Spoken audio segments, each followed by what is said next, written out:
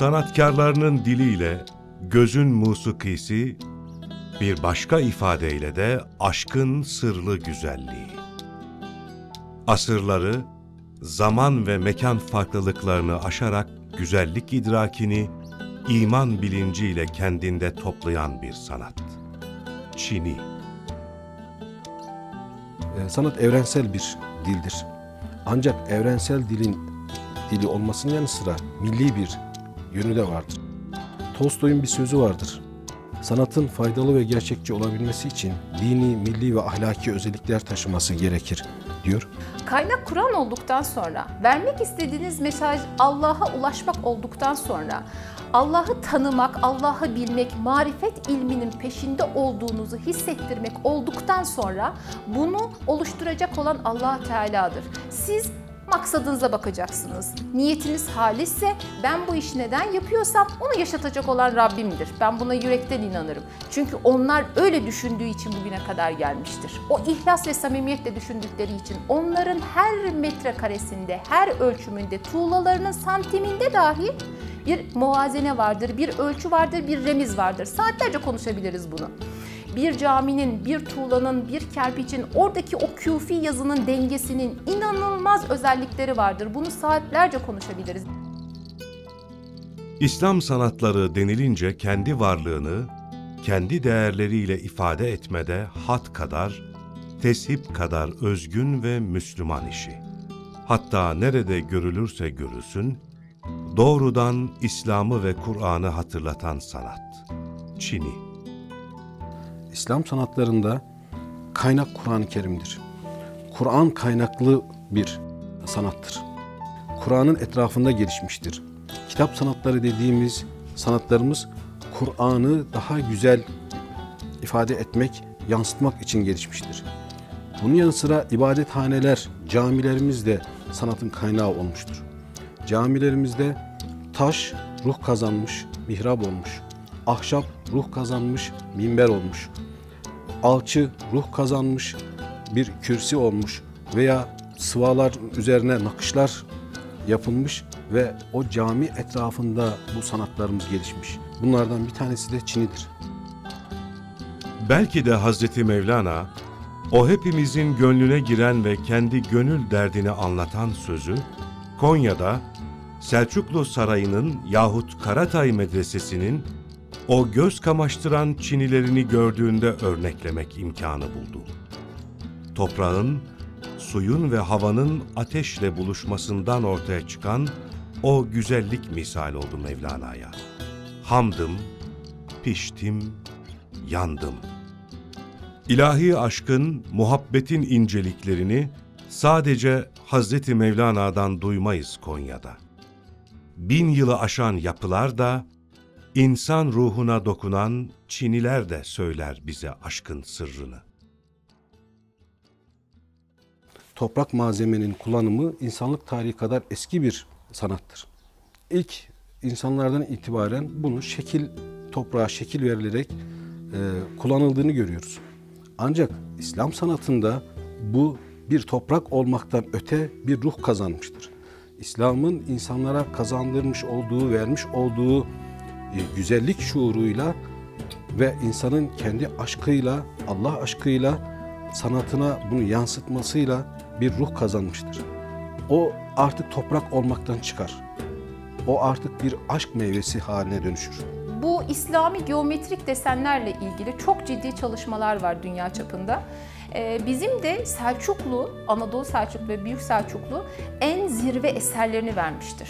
İşte burnumuzun dibinde Karatay Medresesi 1251 tarihli bir medresedir. Günümüze kadar gelmiştir. Mozaik Çinidir. 24'te yıldız geçme dünya tarihinde tektir. Dünyadaki bütün sanatseverler 24'te yıldız geçmeyi görmek için mozaik tekniğiyle buraya gelir bakarlar.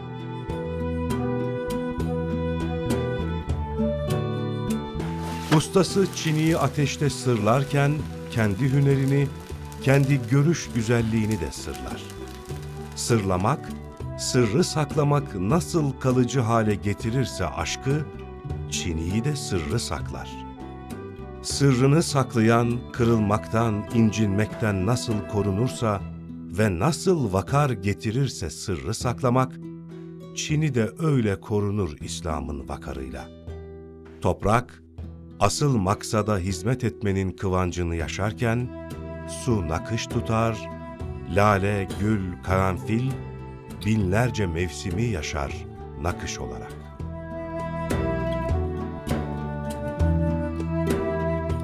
...600 yıl, 700 yıldır Selçuklu'dan kalan bugüne kadar gelen 900 yıllık eserlerimiz var. O eserlerin bugüne gelmesinin bence asıl sebebi oradaki ihlas ve samimiyettir. İnsanlar bunu neden yaptı? Neden bu şekilde bir yola çıktı? Yani neyi eksik buldu da ruhunda tamamlamak istedi, bunu mimariye aktarmak istedi, bunu taşa oymak istedi, bunu sırlı tuğlalarla çeşitli organizasyonlar şeklinde şebekeler ortaya çıkardı. Orta Asya'dan tutunuz İran'dan Anadolu'ya kadar gelen serüveninde nelerle, ne tür güzelliklerle karşılaştığınızı inanamazsınız. O kadar farklı şeylerle karşılaşıyorsunuz.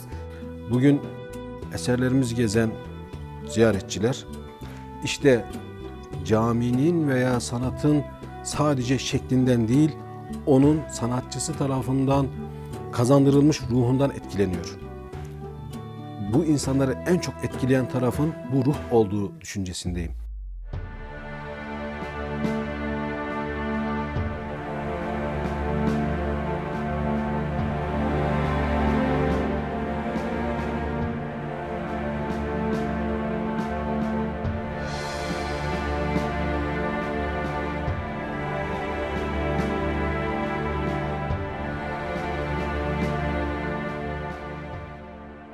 Adı Çin'i ise de sadece nakış, sadece boya değildir Çin'i. Geçmişin yaşantısı, geçmişin bilimi, geçmişin kültürü, hasılı, geçmişe dair ne ararsanız vardır Çin'de. Ve Çin'i, Anadolu'daki Türk İslam asırlarının en parlak devirlerinin şahidi olarak yaşar Konya'da. Taç yapılarıyla, medreseleriyle, kümbetleriyle bu dipdiri mirasın karşısında Çin'i sanatçısı bir taraftan çok büyük imkanlarla iç içe sayılırken diğer taraftan büyük bir sorumluluk taşıdığını bilmektedir.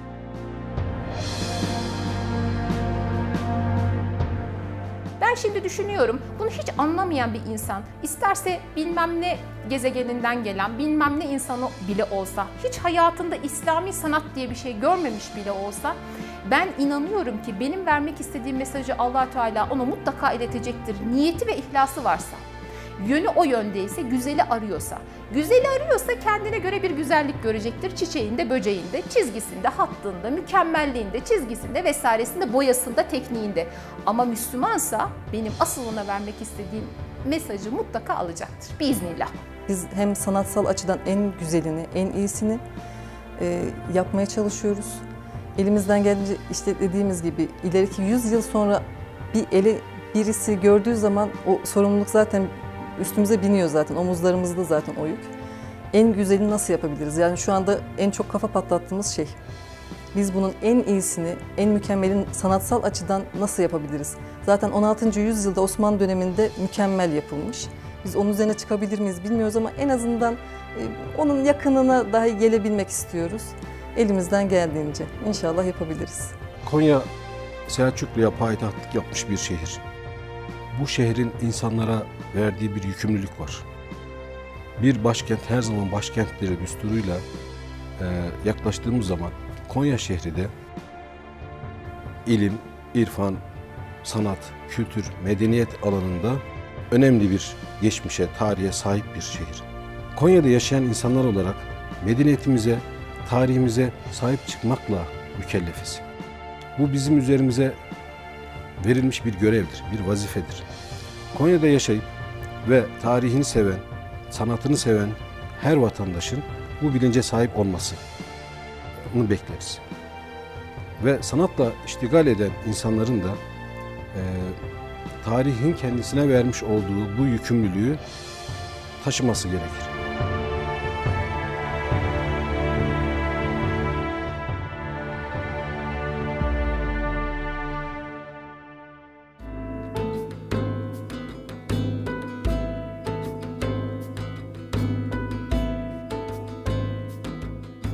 Nihayet aslı toprak olan Çin'i, usta sanatkar eliyle hayat bulan güzel hayallerdir.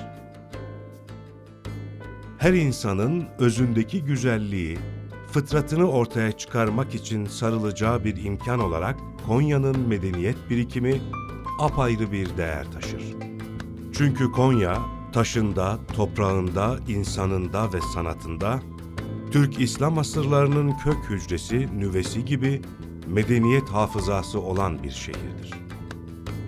Eskilerin göl yeri susuz kalmaz özdeyişinde ifade ettikleri anlam, Konya'da yine hayat bulmuş, Destegül Güzel Sanatlar Ocağı eliyle geleneksel sanatlarımızdan Çin'inin ustalarını yetiştirmeye başlamıştır.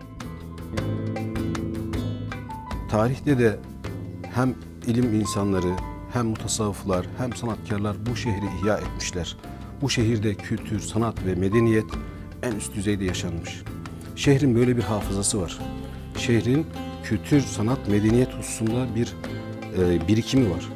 İşte bu dönem e, Selçuklu döneminden sonra Osmanlı döneminde de bir miktar devam eden bu ruh daha sonra yavaş yavaş ortadan kalkmaya başlamış ve yakın döneme kadar böyle bir ruhu bu şehir kaybetmiş. Fakat hafızasında bu birikim olduğu için şehrin e, bu sanatlarımıza, efendim bu kültüre, medeniyete aşkı hiç kaybolmamış.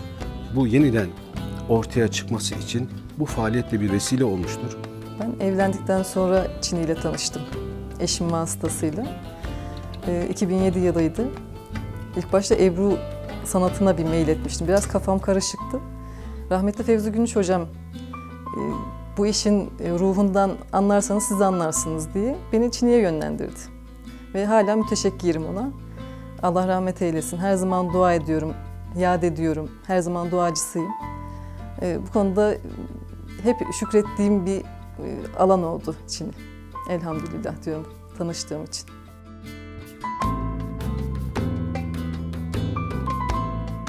Sanat sadece geçmişin ve bugünün güzelliklerini geleceğe bırakmak değil, insanın öz anlamını kalıcı hale getirmektir. Bütün sanatlarda olduğu gibi Çin'i sanatı da insanı onaran, insanın kendi içine dönmesini sağlayan ve onun kendisiyle, yaratıcısıyla ve çevresiyle daha barışık yaşamasını sağlayan bir sanat. Gündelik hayatın açmazlarına, hatta dünyanın acımasızlıklarına bile çare olabilen bir güvenli liman.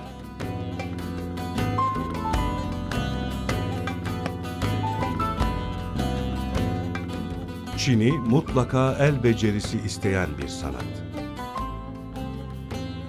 Gözün, ölçünün, dengenin, inceliğin iç içe olduğu Çin'i sanatında da geleneksel sanatlarımızdaki meşk sistemi korunuyor.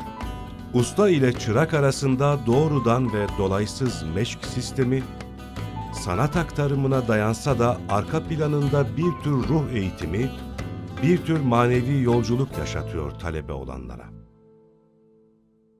Önce kişi talip olacak, ustası veya hocası onun bu talip olduğunu sezecek, görecek, anlayacak ve aralarında bir ünsiyet meydana gelecek.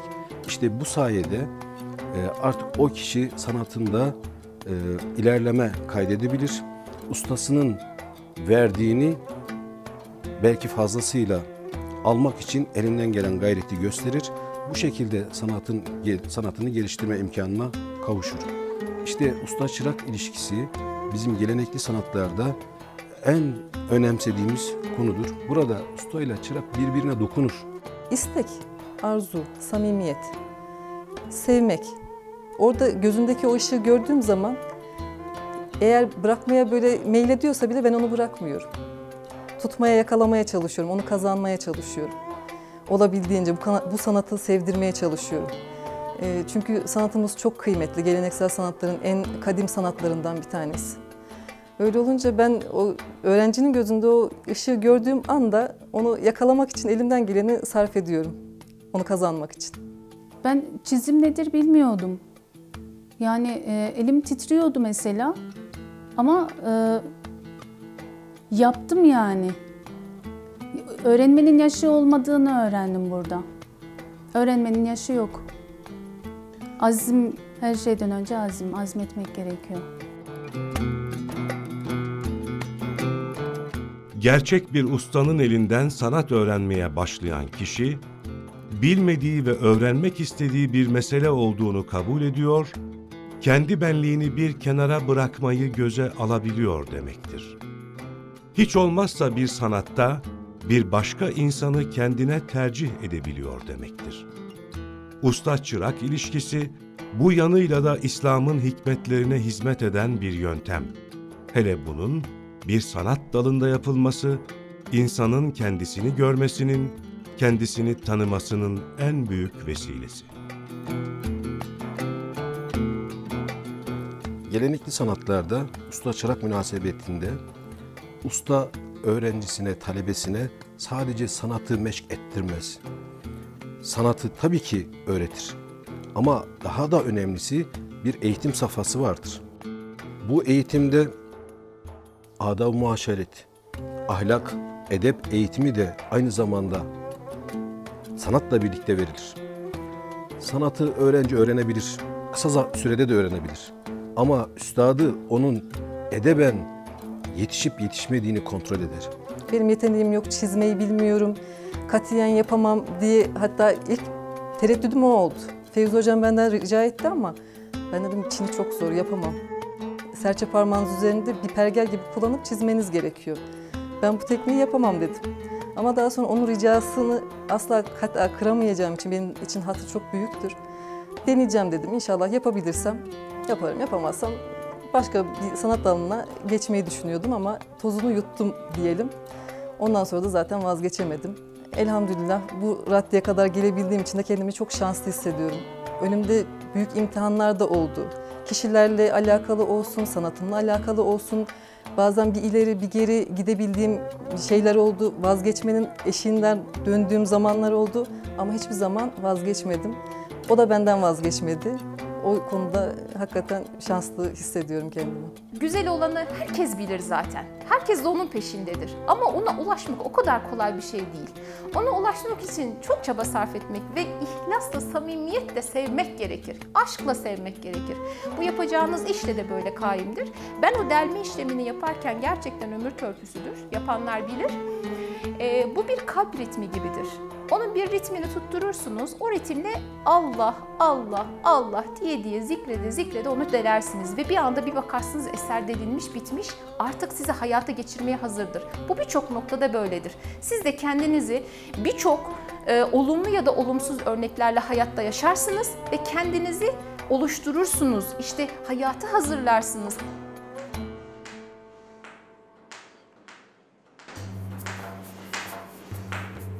Usta ile çırak arasındaki ilişki aslında bir tür hikmet alışverişi.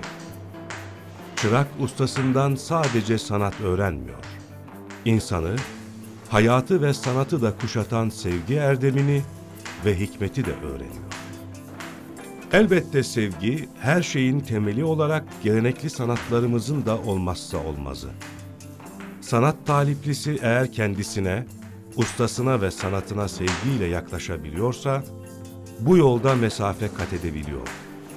Hz. Mevlana'nın sevgiden acılar tatlılaşır, sevgi yüzünden bakırlar altın olur, sevgi yüzünden tortular durulur, arınır, sevgiden dertler şifa bulur, sevgi yüzünden padişahlar kul kesilir sözü, böylece sanat eğitimiyle hakikat olur.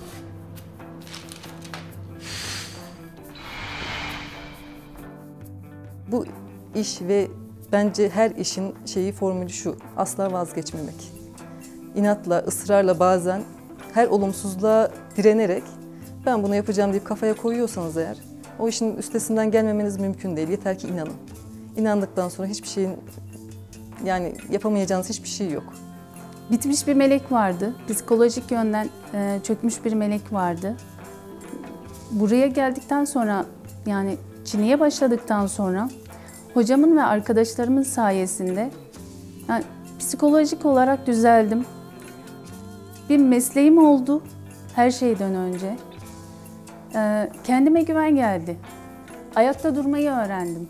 Yeteneğimin olduğunu bilmediğim bir sanat dalıydı. Meğerse ben fırça da kullanabiliyormuşum. Güzel tonlama da yapabiliyormuşum. E, boya da kullanabiliyormuşum. E, desen noktasında da fikir de üretebiliyormuşum. E, gönül dünyamı nasıl yansıtabileceğimin e, aynası oldu bana aslında Çin'deki eserlerin her biri ayrı ayrı. Her aşamasında başka bir şey öğrendim. Aynı benim ruhumun tekamülünü sağlaması gibi. Bu bir pençle başladı, hatayı olarak devam etti. Daha sonrasında bir bahçeye dönüştü, sonra ağaç oldu, orman oldu ve bu devam ediyor. Çini sanatı, gelenekli sanatların tümünde olduğu gibi dünyayı ve varlığı güzel görmenin ve bu güzelliği fıtratın güzelliğiyle buluşturmanın sırrını taşıyor. Eskilerin ayinesi iştir kişinin lafa bakılmaz hikmeti Çini sanatında da kendini gösteriyor. Bir eseri oluşturmak için ortaya konan gayret, bazen ayları hatta yılları alıyor. Ancak bu uğraşın sonunda kişi kendi kendisiyle baş başa kalmayı öğreniyor ve gerçek özgürlüğün kendini aramakta, kendini bulmakta olduğunu görüyor.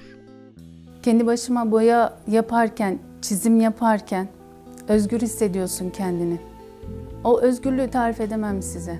Ev hanımı Ebru iken üretmenin güzelliğini, ne kadar güzel bir şey olduğunu, yaptığınız eserlerin bir yerde, güzel bir yerde Allah'ın evinde sergileniyor olması.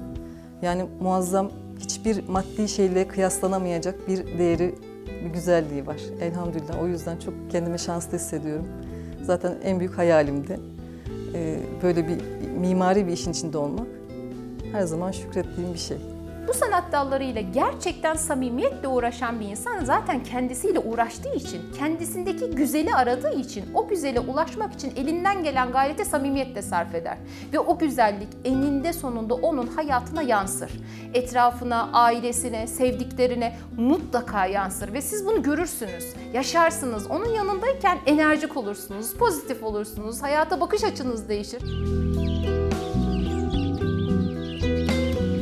İslam geleneğinin en özgün sanatlarından biri olan Çin'i, insanlığın hikayesine şahit olmaya devam ediyor.